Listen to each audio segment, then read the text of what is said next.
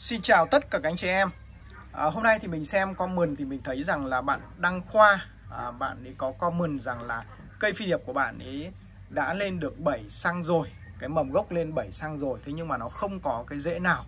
Và nguyên nhân thì có phải là do tưới nước nhiều hay không? À, Và cần phải chăm sóc và xử lý cái trường hợp này như thế nào? Thì chính vì vậy mà hôm nay thì mình làm video này chia sẻ với anh chị em về cái trường hợp này Và mình thấy rằng là cũng có khá nhiều anh chị em mới chơi lan và chưa biết nên là anh chị em quan tâm.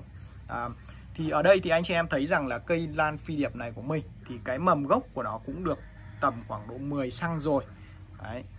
À, thậm chí là có những mầm là nó trên 10 xăng rồi thế nhưng mà nó vẫn chưa có rễ đây anh chị em thấy rằng là như cây này thì nó mở lá và nó lên rất là khỏe rồi thế nhưng mà à, nó vẫn chưa có rễ thì nguyên nhân tại sao thì mình xin giải thích với lại anh chị em như sau.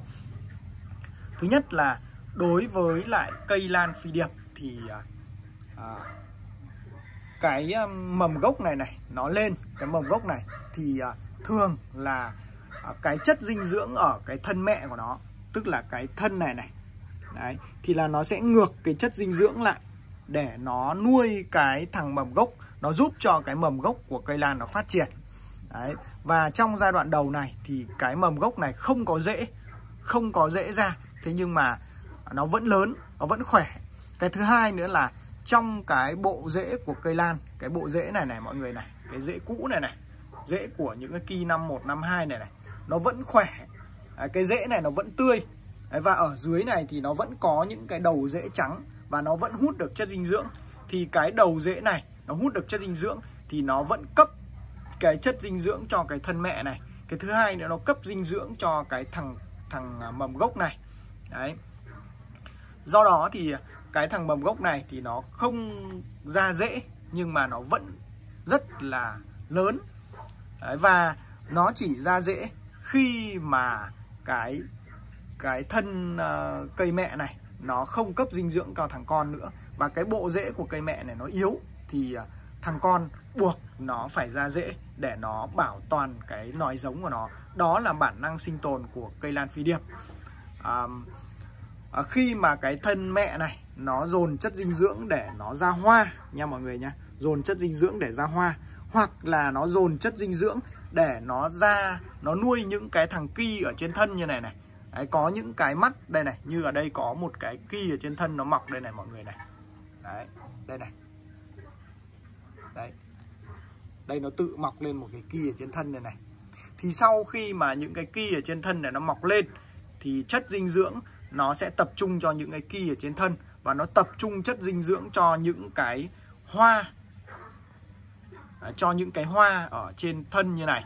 Đấy, thì uh, khi đó thì cây lan của ta buộc nó sẽ phải ra mầm gốc để nó xin lỗi là buộc phải ra cái mầm gốc này buộc phải ra rễ để nó sinh trưởng và nó phát triển theo cái bản năng sinh tồn của nó. Do đó thì trong trường hợp này thì anh chị em cũng không cần phải quan tâm đến cái việc là làm cho nó, buộc phải làm cho nó ra rễ mà chúng ta vẫn cứ chăm sóc cây lan bình thường thôi. Ở gốc thì chúng ta bón cái phân cho cây lan đây rồi. Đấy, bón những cái phân như là phân trâu, phân bò mà chúng ta ép ấy, thì ở đây thì mình sử dụng phân của vườn của mình mình tự ép. Đấy, thì ở gốc thì có phân này rồi. Và chúng ta có thể là sử dụng thêm một chút cái phân tan chậm mà hóa học như là phân uh, mình thì mình hay sử dụng phân trì của Nhật 14, 13, 13 rồi là ngoài ra thì uh, thỉnh thoảng thì một tháng thì anh chị em có thể là sử dụng phân bón lá NPK uh, 20, 20, 20 đều hoặc là 30, 10, 10 để tưới cho cây lan ở trong vườn chúng ta một tháng thì chúng ta có thể là tưới uh, một cho đến hai lần uh, cho cây lan. Còn bình thường là ở gốc này nó đã có đủ chất dinh dưỡng ở gốc này rồi. Đấy, chúng ta cũng chỉ cần tưới nước cho cây lan là nó đã đủ chất dinh dưỡng rồi. Đấy, còn cái việc mà bón lá thì chúng ta chỉ cần bón thêm cho nó thôi. Hoặc là anh chị em cũng có thể là sử dụng đạm cá anh chị em tưới cho cây lan cũng được. Rồi là những cái sản phẩm như là à, uh, GE gừng GE chuối uh, rồi là cái sản phẩm như là mình vẫn hay giới thiệu với anh chị em đó là cái sinh khối enzyme từ mầm của hạt đậu xanh để chúng ta tưới cho cây lan. Đấy thì à, rồi là cũng có thể là sử dụng cái kích rễ này để chúng ta à, kích cho cái bộ rễ của cây lan. Thứ nhất là bộ rễ của cái mầm gốc này thứ hai là bộ rễ của cái cây mẹ này nó phát triển thêm lên thì à, nó sẽ tốt cho cây lan của chúng ta thôi. Thì về liều lượng thì mình cũng đã giới thiệu với anh chị em nhiều rồi. Thì thằng Biorot kích rễ này thì mình sử dụng là 1 cc trên 1 lít nước và có thể là kết hợp Biorot này với lại phân NPK uh, 20 20 20 hoặc là 30 10 10 là 1 gam à, trên 1 lít nước thì chúng ta có thể là pha chung lại với nhau được 1 cc biorot này với lại 1 gam NPK thì pha chung với lại 1 cho đến 1,5 lít nước. À, thậm chí là anh chị em có thể là sử dụng đến 2 lít nước thì tưới cho cây lan cũng được. Đấy, 7 cho đến 10 ngày thì chúng ta tưới một lần. Đấy, rồi là ngoài ra thì các bạn có thể là sử dụng cái thằng sản phẩm kích rễ tự nhiên là sinh khối enzyme từ cái mầm của hạt đậu à, xanh này này. Thì anh chị em sử dụng cho mình là 10 cc trên 1 lít nước. Thì khi mà sử dụng cái sản phẩm à, sinh khối enzyme từ mầm của hạt đậu xanh này thì anh chị em không cần phải sử dụng biorot này nữa. Mọi người cũng có thể là tự làm được rồi là ngoài ra thì các bạn cũng có thể là sử dụng GE gừng, GE chuối là một à, từ 2 cho đến 4 cc trên 1 lít nước.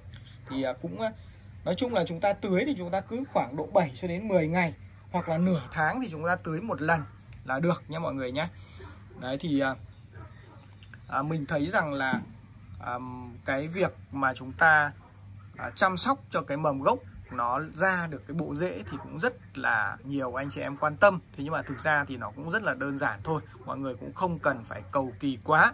À, cứ chăm sóc bình thường thôi thì nó cũng sẽ lên nó sẽ ra dễ thôi. Đó là bản năng sinh tồn của cây lan rồi. Và anh chị em để ý là những cái cây nào mà thường là những cái cây mà nó còi cọc những cái mầm gốc nó còi cọc nó không có cái thân mẹ này này rồi là cái bộ rễ của cái cây mẹ này nó yếu thì những cái cây đó thì à, thường là nó lại ra dễ sớm hơn và những cái cây đó thì nó nó yếu hơn. Đấy, thường là như thế nhá mọi người nhé tại vì đó là bản năng sinh tồn của cây lan rồi. Thì mình thấy rằng là cái phương pháp này thì cái vấn đề này cũng rất nhiều anh chị em quan tâm nên là mình chia sẻ với lại toàn thể các anh chị em. Và mình xin kết thúc video chia sẻ hôm nay ở đây và nếu như mà anh chị em thấy cái video chia sẻ của mình hay và có giá trị giúp ích cho các bạn thì à, các bạn hãy bấm vào nút đăng ký kênh để ủng hộ kênh Đức Hoa Lan để tạo thêm nhiều động lực để mình làm nhiều video có giá trị hơn nữa để chia sẻ tới toàn thể các anh chị em yêu Lan. À, Đức Hoa Lan xin chào và hẹn gặp lại tất cả các anh chị em ở các video tiếp theo.